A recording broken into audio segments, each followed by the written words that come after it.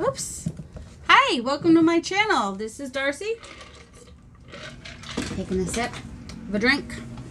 It is more time for more if I remember. Now, Sunday, I did not make a, I did not do a prompt on Sunday yesterday, which was the 5th, coffee and button card. I had ideas. I mean, I had some coffee stamps that I thought, oh, I can make really big coffee buttons and put them on a button card, or I could take a coffee cup picture and put it on a card and then put buttons on that. But honestly, well, one, I do a live on Sundays. So, and I did do a short that I put on my YouTube channel, but to do another video, it's just a lot for me on Sundays. So sometimes I do, sometimes I don't. And two, I'm I don't need a lot of ephemera of button cards because it's just not something that I'm going to use. I might use a button here or there, but I'm probably not going to use a button card. So I did not make a video yesterday. I did not make a ephemera yesterday, and I'm not going to feel bad about it. And that's all there is to it. So we're moving on. I'm not going to do any catch up. I'm just going to move on. Uh, so today is December 6th. So number six is napkin image and tag. And as I've said before, I'm using these prompts as a way to get some mass making done. And I'm, you know, gonna, this is just four days worth. And so I'm getting some fun stuff to use in future journals. I just have to remember that I put it on top of my printer and stop looking for it all over my floor. Now, I, uh, I've already gessoed a lot of these tags, so I have right before this challenge started, oh, that's a different, that's an older one, but I still might use it. Um, I did some master boards. Now, basically, the master boards I did is I just take, took scrap papers and on manila folder, just collage scrap papers on the manila folder and um, then cut them down. So a master board is just a bigger piece because not everybody knows. So here's an example. So this is just a piece of cardstock, actually. And I do that so I don't have to back it. It's already backed. Although, you know, some people, if they make a mess like me, will want to still cover it. And I don't know, my, my journals are more grungy. I don't worry too much about it. Unless I know it's going to be a really big mess. So I would collage on this paper and then I would cut them down into smaller pieces like this or like this or a long piece that could be a belly band or a long pocket on the side and cut them down. There's a video I did last week cutting them down. They're kind of fun to see how they turn out. Sorry about that. Let's make sure this is screwed good. Okay. So I've, I'm using these in today's tag. So yeah, got these as tags. And I'm just taking some gesso. And some of these are going to run because it, um, or they'll bleed because of they're on printed paper like this is printed and it was before I had my HP and before I even started buying 32 pound premium paper. Apparently if I use my 30 pound premium paper for my pieces that I want to collage with, which I'm collaging with scrap, so I guess with everything, then I won't have as much bleeding. Uh, my friend Lori told me that yesterday in the live. I do a live on Sundays on Facebook in a group called Junk Journal with Penny. And I was hoping I'd have more of this. I didn't want to have to get more of it though. The gesso. This is just gesso. You can use a credit card. You can use your finger. You can use a palette knife. You can use whatever you want to get some gesso on there. And I just kind of want to put it in the background a little bit. Um, this one I don't know if I'll use this one or this one. But They're light enough, I might be able to put napkin over it. Um, let's see. Also, I thought that I would do some stenciling, but I'm not sure. Um, let me find a couple where I might want to do just a little bit of... See, this has got gesso all over it now, and I'm okay with that. It's just going to add a little bit more. Wipe it up with these. There we go.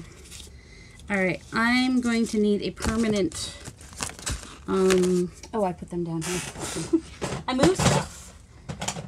So, like, the Seafarer is an archival ink. And so it should be just fine to do just a little bit of I don't want to go too dark on it. And I don't tend to do the whole thing. Uh, you know, I just kind of, but it'll be a nice background for a napkin. Let's see, hopefully, depending on which napkin I use. And I like a damask. I mean, I use, do a lot of grungy, but all right, Carrie, I know you don't like this word, but I like the ju juxtaposition of grungy and like some gold and some damask and, you know, like, you know, like this nice grungy look with some, some fun metallics and, um, you know, little damask or whatever it is you might want to use. What else do I have? I actually, um, I might have organized my stencils a little bit the other day. As in, put them where they're supposed to be. I don't know why I'm not pulling out the whole thing, because now I'm going to have to find where that envelope was, and that's annoying. Um, Seafarer, I when I saw it, I was like, oh, I need that, because, um, you can see, I use a lot of teal in my stuff, and here I just kind of want to get a little here and there. So I put some there, there, and there, and it brings this into it, and so it brings that down to the rest of the card. And I feel like when you stencil across some um, some uh, collage it makes it feel like more cohesive. That's just me uh, that's kind of seafarer-ish close to it there's some blue in there let's just get a little bit here and there there we go not a lot just a little bit here and there And I don't have to keep, I could change my color anytime. I've got some, I use a lot of blue. I could even do some, some browns and whatnot, more neutral colors. But why? Why? Why would I want to just use neutral colors? I really, I, and when I ordered this Seafarer color, I ordered the right with it because it's the color I've been looking for. just tell you right now, it is the color I've been looking for. Okay, so this one I'm more likely to find my fern. Where is he? Here he is. Don't know why he's a he. But um, this little fern green. And I have a lot of these. Uh, there's my green one. And I just took, um, this is like medical tape, I think is what it is. And I put it on there so I could write on there and still see it even on the dark, the dark bits. Um, Let me just find another stencil here. Oh, I've been wanting to try this one. Okay. Ha ha ha. I got this one at Rose Cottage Crafts L LC. Uh, I don't know. It's got to be the one in America. I talked about it in another video. I'll have to find Rose Cottage Crafts Company or Rose Cottage Crafts LLC Oh, goes this way. So I thought this might be a little bit of fun to see how it comes. I can't really tell exactly what I'm doing there, but I got some green on there. It's not exactly the same green as that, but that's all right. All right, about this one. All right, now what's going to happen with this one is I'm going to do some green, but I've got some blue on there, but it's permanent. Oh, yeah, it's permanent, so I'm probably not going to.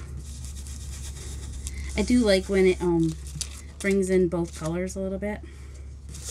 So there's that. Do I want to do any more? This one could use a little bit. Oh, I think I want Seafarer for this one, though, because it's got it in here and not really a lot of other places. Alright, so Seafarer. Cover for my fern. So how's everybody doing today? I hope everybody is well and happy and content and having the best Monday ever. Because Mondays don't have to be bad. They get a bad rap though, don't they? This will be especially fun to use on my gel plate. Um, I haven't done that yet, but I'm going to. I'm gonna, I'm gonna, I'm gonna. So that's fun. Any other ones? I've got other ones, but do I want to... Alright, let's... Oh, I forgot these. Let's see. Got these, which are perfect. Oh, I like to do this sometimes. Now this one, I'd probably do some brown on maybe, or black. It's just some, I might use black. I just might. You can do that, you know. You're allowed to use black ink through your stencils. It's okay. And then I'm going to just kind of come down this edge, probably get it on the card behind it, because, nope, I didn't, because I had left, if you don't want to get stuff on your stuff, don't do stuff on your stuff. Tara's always like, Tara Jacobson, Artsy Fartsy Life, she's always like, if you don't want to get glue on your stuff, don't glue on your stuff. Because she'll like glue her people, her, her, her, uh, things on top of her project. Okay, so see this just helps kind of unify the um the two different pieces to make it look a little more cohesive. So I like that. All right, these. All right, all right, all right, all right. This has like that dark gray there, so it might be nice to bring a little bit of uh of that somewhere else on the card. And I might even connect it a little bit here and there. Mm, I kind of want to, there we go. And we'll see what that looks like after we get a napkin on there. Do I have any other cards that need something? All right, and then I have uh, a couple Tim Holtz ones that are just scrap pieces that I can use as a tag. And where's the cover to my... Let's put the cover back on before we end up with a mess. Ooh, a little... Oh, this has got red on it. I think I'm going to do red. Some red houndstooth. Which one is red? This one's red. So see, no matter if I have it on a black one, I can still see what I wrote because the medical tape kind of shows white. I love a houndstooth. Let's go the right direction. Is there a right direction for houndstooth? I don't know. I'm going to kind of go, I want it to be red, red, red, red, red, not pink. So it'll be kind of like over there. And fine, we'll do our threes. Got the red here, red here, and we'll do a little bit up here. There we go. We have our triangle. Although, you know what? Who cares about a triangle? I need a little red down here. triangle, schmiangle. Gonna be a rectangle. Oh, this one might be good with red. I don't know how we're gonna end up using it. Could be tag. Could be a pocket. But I would most likely, usually I have the darkest spots at the bottom.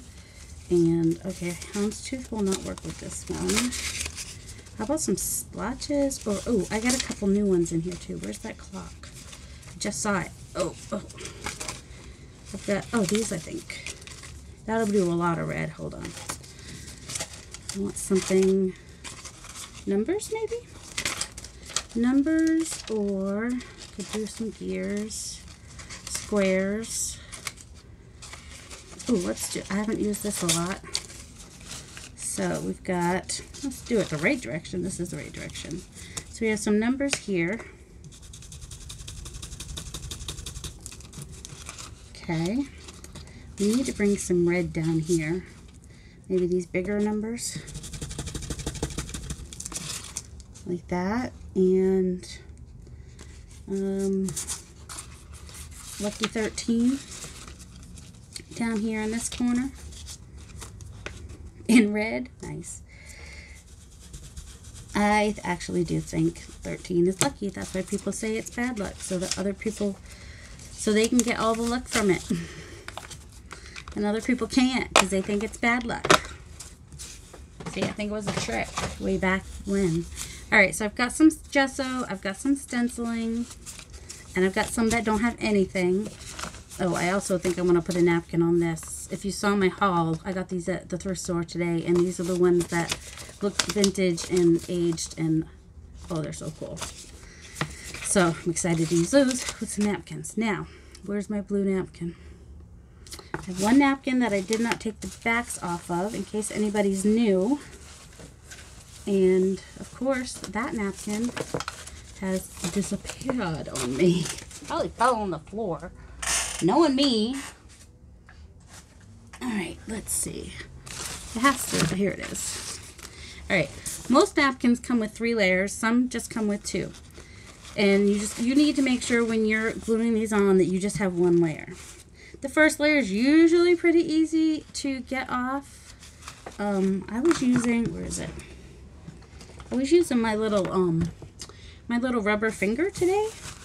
And it seemed to be helping at least get that, oh, that first layer off, but it didn't do that with the other napkins. All right, so here's the bit way back layer. And then there's a middle layer and then the front layer. Now, this particular napkin, I'm not pushing hard, I'm just, oh, it did it on that one. Well, it might have already been loose, but it kind of loosens it up sometimes. But if it doesn't, like if that didn't work, then I would take a piece of tape and or just something sticky. Sometimes I'll just use this because it's been sitting here for a long time. And you put it on here and you press it. If it's regular tape, you won't have to worry about it. And it pulls up that one layer and then you can start removing it. So if you're new, to napkins. That's it. And then sometimes, not every time, you get this really nice ghost print on that second layer. So this one I really like to use the ghost print on because it's not quite as dark and is better for background. But I really like this as a background too because I don't know if you figured it out, but I really like the color blue and green and everything in between. So these napkins are what I have to work on today. This one I did save the back too. Oh, and of course, squirrels. And this one is a nice background. See, these ones I didn't save this middle layer. This one only had two layers because uh, they weren't as dark. This one, when you get them at Dollar Tree, especially, you will find that they're just the middle like this, which is fine. I mean, you get them for a dollar, and that's the perfect size for a tag. If you want to fill a whole page, you might want to go to uh, and get these ones at Tuesday morning. And that is the whole kit and caboodle right there. And then if you've ever, uh, if you watch Gail Agostinelli, and I also have some videos doing the fabric, napkin fabric covers, I think that's what you'd want to search, is nap, napkin fabric covers or fabric napkin covers. Either way, you've got the right words. And we do layers of napkins until we get like a top layer that are the prettier napkins, but we start out with like these kind, or if you just wanted a background with some hint of butterflies, that works for that. So these are all the ones I have to work with today. Here's another one that had a nice, call them a ghost print. It is best to use ones with a white background, but sometimes you love a napkin so much that you don't care what color the background is. And I definitely want to use some of these feathers today too. So a lot, some people are doing these Christmas. I'm not because, as I said, I'm building up my stash. So, ooh, this might work. Now I've already got pink flowers on there. Let's see. Butterfly? Maybe a butterfly. Ooh, this yellow bird. He'd probably show up really nice right there in the middle. All right, and then some people use water to um, separate their napkins. I don't tend to. I mean, I'm not saying I never would, but mostly I put my thumbs really close together and just gently pull apart where I want. How tall is this going to be? Okay, don't need to. And the reason that people prefer to rip them rather than cut them because it gives you a more organic edge. Um, I'm not going to worry about my other edges because I am going to go and take the, have the label not be there though, I think. I could have used another corner and not had the Michael, actually, I don't know. Is it really so bad if the Michael Design Works is on there? So I'll do him like this, and he'll be right there in the blue, showing up nicely. You can use Mod Podge, you can use um, Gel Matte Medium, and when you do that, you do uh, above, like you would de decoupage if you did it like that. And you would put glue on the tag, and you would put glue over the napkin and you'd have kind of that stiff uh, shiny, not always shiny, but you know, it would feel different than if you're using a glue stick. If you use a glue stick, you don't have to go over the top of the napkin. You just have to make sure you get all the way to the edges and make sure that nothing sticks to the glue that might be coming out the edges or whatever. So, there we go. And then you can cut off the edges or I tend to use a file or if you have a piece of sandpaper or anything like that. And that. Now if I really didn't want that Michael down there, I could do a couple things. I could put a little gesso over it or a stamp or just pull it off. Like use my thumbnail here and just kind of, because there's paper underneath it. So just, that would just kind of be and I could even do this a little bit. And there, just, this is just a little bit. There's still a little bit of gesso in that. A little bit. I could just kind of blend it a little bit. I could even do a little bit of gesso on top of the napkin to kind of age it. Grunge it up a little bit. Like when I ink it, that gesso is going to ink differently than um, the regular paper. And of course the napkin is also going to ink differently. Isn't he so cute? All right, I like how that one came out. I think I picked a good napkin for that card. All right, I know, I'm so full of myself. Not really. Was, I don't know, I, I, I joke. Don't mind me and my jokerism. All right, which one did I want to put a leaf feather on? That one might be nice, except for it's already got the dark. Let's see. Ooh, that with the red behind it, if we do, that's got some orange. Ooh, a long feather on this one. Let's try that. This one's going to be a little bit more of a challenge. But, oh, won't that look awesome? Good luck pulling that one out. Now, this isn't a full feather, so I'm not worried about ripping into that. I'm more interested in getting this feather in the middle and I might pause for a minute so you don't have to see me just fiddle with this all day long. Or um, I could tell you a little bit about myself. I just watched Wendy um, North Light North Light oh, Wendy if you're watching this comment and tell them who you are and to go watch your video where you talk about who you are anyway, she was just doing a video talking about about herself and um, I don't know. I've got new people probably coming to watch these videos. It might be nice to learn a little something about me. So if you have any questions about me, ask. And in each video, I'll try to remember. I may for totally forget that I even said any of this because, you know. But hopefully I'll remember.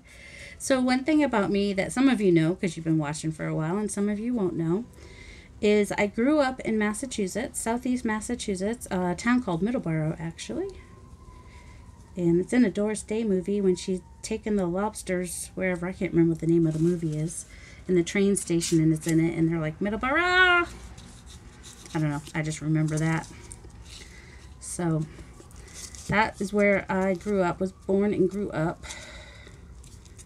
Um, yeah, I was born there. I lived in Lakeville for, I don't know, a couple years, a year or two before we moved, before I started school. But when I started school, like all my school years, we lived in one place. And uh, a good friend who watches my YouTube videos and has a Facebook group uh, and Instagram, Expressions in Journaling, I think is her handle on Instagram. You can go check her out. We grew up together because um, her dad was our landlord and it was a two-family home. So they lived downstairs and we lived upstairs. And we would go and we'd play in the attic sometimes where there were sometimes bees. We'd play under the deck. We'd play on the landing of the stone steps. Uh, we'd play in the woods. In the dead, we had it lived on a dead end. We'd roller skate in the yard. We do head wheels, uh, head wheels, cart cartwheels and somersaults in the yard. You know, up until her sister got dog poop in her head, and I don't think we did it again after that. Oh, and bless her heart, her mom was the kind of woman who would be like yelling at people. Hey, don't let don't let your dog on my yard. Okay, now I can't see much of what's behind there, but isn't that feather striking on this tag? I'm like way up there, huh? Maybe I should turn that just a little bit. See, see that? So I can't see a lot, although I could see a little lines and stuff back there. I don't can't see specifically what's back there, but isn't that is a fun way to use a long piece. Those are hard hard to do. So yes, that's where I grew up. I was not an exceptional student. I was average. I played the flute. I was in the band. Um, and I just I had a good childhood. I was raised in a Christian home and came to know Jesus as my savior when I was young. Didn't get baptized until I was a teenager. Uh, my parents never pushed it. They wanted it to be my decision. Um, so yeah, that's that was me. Uh, what else? Oh, I went to Awana, which I hated because I didn't like the exercise, and we had to like you know play games where you had to run, and you had to like learn memory verses. It just felt like work. Awana always felt like work to me. I I, I never enjoyed it. Pioneer Girls, we did. Uh, our neighbor, her church did Pioneer Girls, and so she took us. She was one of the leaders. Uh, let's see, which one was she? Woodstock, I think. They all, they all had bird names, so there was like Chickadee and Woodstock. Those are the only two I remember. And I think our neighbor was Woodstock. This is kind of like really fancy this one up a little bit, isn't it? All right, so I need to be right around here. Um, and a lot of people you'll see when they're using the uh, napkins, they'll just use the glue stick now because the Mod Podge and other stuff is just so messy. Just no one wants to deal with it anymore. But if I get in a mood, I will like actually proper decoupage on some stuff. Oh my goodness. I'm I got glue sticking to me. I got glue, it's multiplying. Oh, another thing about me is if I hear a term or word that reminds me of a song, I break out in song. So I moved to Virginia when I graduated from high school. And remind me next time to tell you that part of the story. I don't want to need to learn my whole life history all in one. And so, like, we lived on a dead end, so we could roller skate in the street. There was a creek down. And that really came out pretty, didn't it? I haven't used napkins in a while, and um, I said to Barbara in her in the comments of her video, I was like, "This is timely. I've been thinking that I need to use some napkins, and this is just perfect timing." I think I want this big blue butterfly because we do have some blue in there. Is he too big? Most of him will be able to get on there. I don't want to cut off both sides of his wings, one side or the other. So I think we'll kind of go like that and bring down some of this flower up here. Why is my, oh, and Joel, poor, bless his heart, he's still, I think, oh, I said that in the other video, I think, the, the haul, that he's still sick hacking up stuff and they're like are you really that sick? And i was like i was in the background i was like uh you all do not want to have him there right now. It is just disgusting. So he's been sick for it well they have a lot of people coming through there. That's the side that's getting cut off anyway right? Whoops. Um, when they do the holiday feast for thanksgiving. And it's likely somebody came in who had a really bad cold or was about to have a really bad cold, and that's probably where he got it from. That's my guess. So, you know, I told him when they do the feast again, he really needs to make sure that he wears a mask so he doesn't catch. Oh, oh I did lose part of the wing on that side. Oh, and this straight line is going to bug me, so I'm going to fix it. I'll show you. So, when they're going to be more busy like that, he really needs to wear his mask. They're not required to wear their mask anymore. And he's had his shot for COVID, but he has to worry about other things besides just COVID, especially stomach stuff, because his brother has type 1 diabetes and Addison's disease. And if he can't keep his hydrocortisone down, he has ends up in the hospital. So, yeah, we don't we definitely don't like for him to get stomach sick. And this had that straight edge on it, so I'm just kind of sanding away from the napkin just to give it a more organic um, look and not have that straight line showing. I'm coming, I'm pressing down onto the napkin and coming away towards me. And anytime you want to do that, like say your napkin is just, you just kind of want it to uh, blend a little better, you can do that. Also, I could come back in with a little bit of gesso. Do I have any more wet gesso on here? Time, no, it's pretty much dried up. But um, I could come in with some gesso just to blur that line a little bit between the napkin and where the napkin stops. Also, since that is some script, I could come in with a script stamp or, ooh, I don't know. Do I want to use that one? I have some script stamps in here. What do I have? What do I have that I can use? Oh, I think this. Um, let's just go with a little bit bigger and I'll use black because this has black writing. Let's try it. I mean, the worst that happens is it doesn't look good and cover it with something or cut off the top of the tag.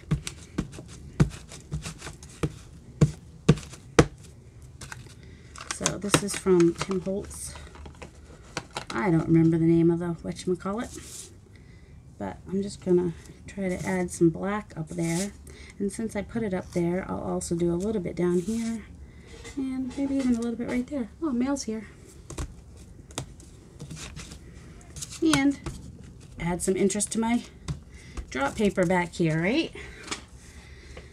So there's that one. How many have we done? One, two, Seems like we did more than that. oh.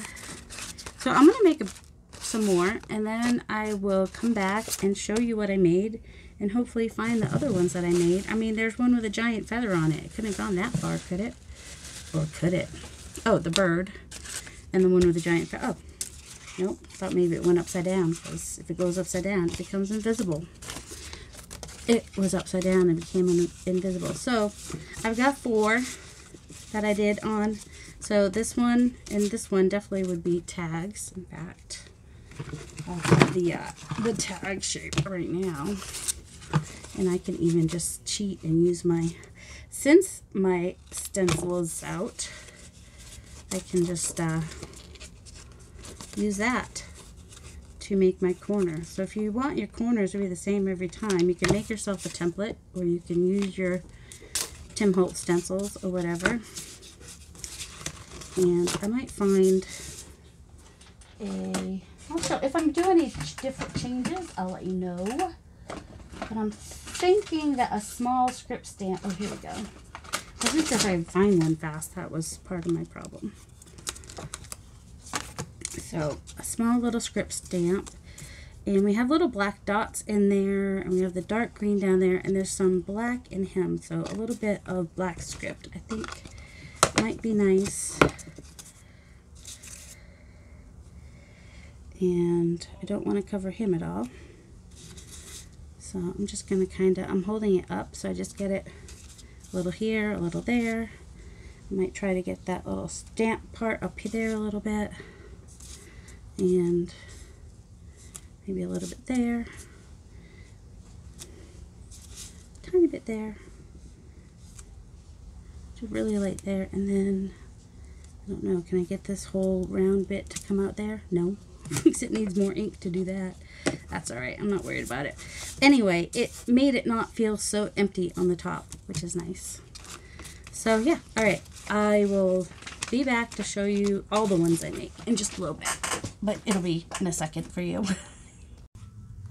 okay, so for the prompt for December, for the sixth was napkin and tag. I didn't use a lot of ta- napkins. Still a lot of napkin left, but I used almost all the tags that I pulled out. And so here's all of them.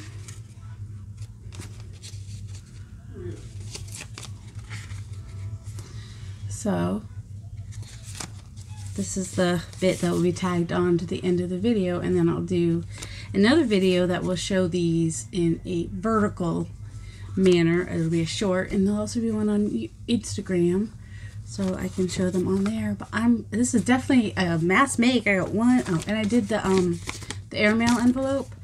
Um, I just did the napkin all over, did a tiny bit of stamping here and there.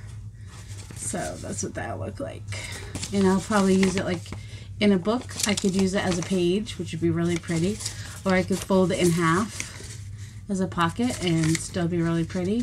Usually I like to do them upside down so I could use that as a pocket. But don't necessarily have to. That little bit only shows a little bit, but that's okay.